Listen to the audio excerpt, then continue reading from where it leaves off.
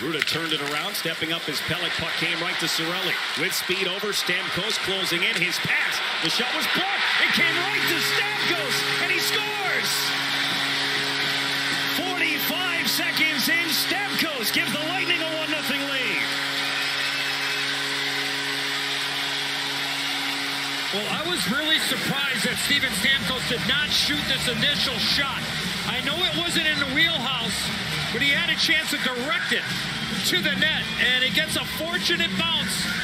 And as our very own Brian Boucher asked for this line to step up, they do here early in game five in period one, Bush. Yeah, this has to feel really good for Stamkos and that line. And I agree, Edzo. I thought maybe just a simple play, get Yeah, on right. net, right? Uh, fortunate bounce, and maybe that's the break that line needs to kind of get the shackles off them. And let's see if that sparks their club.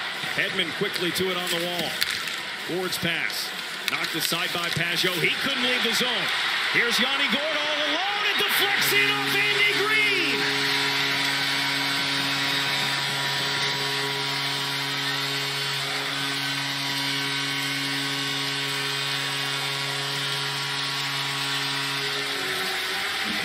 We talk about the blue lines, getting the puck out at your blue line. This area here, this puck's got to get out. If you're the New York Islanders, Komarov's got it. He loses it. Pageau doesn't get it, and then Yanni Gourde tries to make the pass over to Barclay Goodrow, as you mentioned, Brendan, goes right in off of Andy Greene. No chance for Varlamov. And good work by Blake Coleman, too, to get in there and engage Komarov to not allow him to have an easy play to get that puck out. I mean, you're coming back, backtracking, staying above pucks. They get the bounce. They got the bounce on the first goal. They get the bounce once again, but they're working for the bounces as well. It's been a good start for Tampa here in the first. So that's that fine line that you're, you know, you're skating on, that thin ice, so to speak.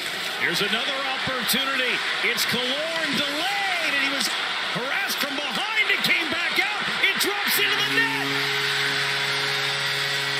Savard threw it back to the crease. Killorn helped it across the line. It is 3 nothing Tampa. This is all off the turnover right in front of the Islander bench. Pulock not able to control the puck. Stamkos a good job to knock the puck down, and that leads transition the other way. Varlamov not able to hold on to it, and then it's a scramble by the net. The shot goes off of Killorn's backside and trickles in, but it all started with the careless play of Pulock by his bench. A goalie change coming here for the Islanders. Sorokin coming in, Varlamov going out. Look at, not a lot of help for that guy right there. That's the eighth odd man situation in the first period.